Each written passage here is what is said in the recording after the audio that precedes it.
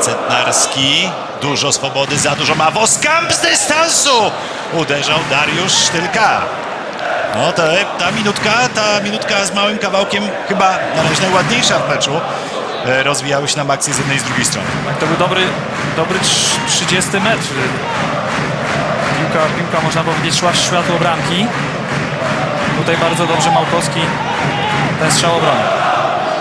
Kolejny stały fragment gry pod bramką Małkowskiego. Popatrzmy, gdzieś tam Sobota się wycofuje do, do środka boiska centra i jeszcze raz blisko było bramie. Wchodzą te akcje ofensywne Koronie. Korona jakby chciała zagrać bardziej z kontry. E, Woskamp 1 do 0, bramkę strzela najmniej oczekiwanym momencie i w najmniej oczekiwany sposób z dystansu. E, źle stał Małkowski i w taki oto głupi sposób przepuszcza piłkę do siatki. Zbyszek Małkowski chyba nie spodziewał się, że, że z takiej sytuacji Woskamp może oddać strzał, bo praktycznie on sam czterech, czterech obrońców yy, korony, a on po prostu przyjął piłkę, odwrócił się i, i uderzył. I to było 25 metrów i jeszcze raz patrzymy na tę interwencję. Oj, będzie Maciek Szczęsny miał na pewno pretensje do, do bramkarza Korony za, za tego klopsa. Aleksander Wukowicz, 25 minuta, za daleko chyba, żeby strzelić, ale można zagrać dobrą piłkę. Stano 1-1! Pawol Stano, on ma abonament na strzelanie goli Śląskowi Wrocław. Błyskawiczna odpowiedź y, gospodarzy Pawol Stano. Pierwszy gol w tym sezonie, trzeci gol strzelony w rywalizacji ze Śląskiem. Zagapił się chyba tutaj w tej, w tej sytuacji Marek Wasilu, bo to on go krył yy, Pawła Stano od samego początku, a nagle Paweł Stano był, był, za, jego, był za jego plecami. Także widać wyraźnie, że uciekł tutaj Markowi Wasilukowi. Za chwilę postaram się dowiedzieć, dla kogo kołyska. Ja tylko chciałem zwrócić uwagę na technikę tej kołyski, której tutaj czegoś się długie lata się domagałem, żeby któraś drużyna zrobiła to płynnie, razem, w jedną i w drugą stronę. I Korona zrobiła to bardzo dobrze, ale Ale tutaj też chciałem zwrócić Oj, potknął się teraz Kelemen i miał dużo szczęścia bramkarz Śląska, bo nie wykorzystał tego e, Sobolewski. Decyzja była dobra, trochę jakby wyżej zagrał e, piłkę, przelobowałby bardzo Kelemena. dobrze, bo teraz widać, gdzie Kelement jest praktycznie na On siódmym metrze. wracając się przewrócił. Na siódmym metrze i Kiełb.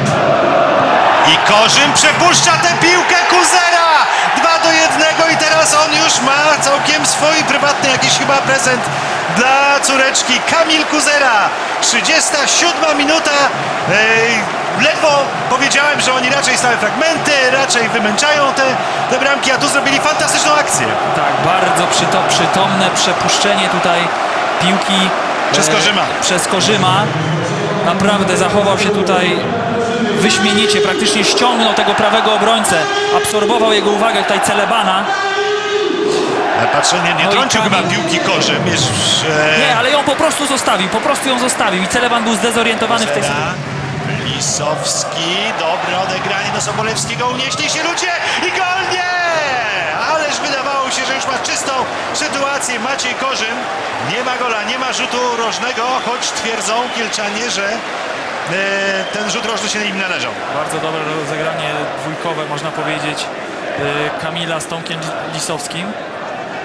Z- Teraz już e, w akcji Sobolewski broni Kelemen i spokojnie kieruje do niego piłkę, piłkę do bramki Małkowskiego wcisnąć. Zobaczymy jaka będzie, jakie będzie zagranie Soboty.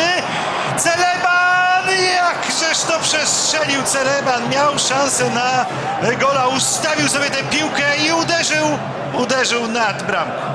Nie wiem jak to się stało, że praktycznie piłka przeleciała obok. Raz, dwa, trzech piłkarzy korony praktycznie koło nogi. Żaden Poprzeczka nie mógł tej ratuje. Małkowskiego.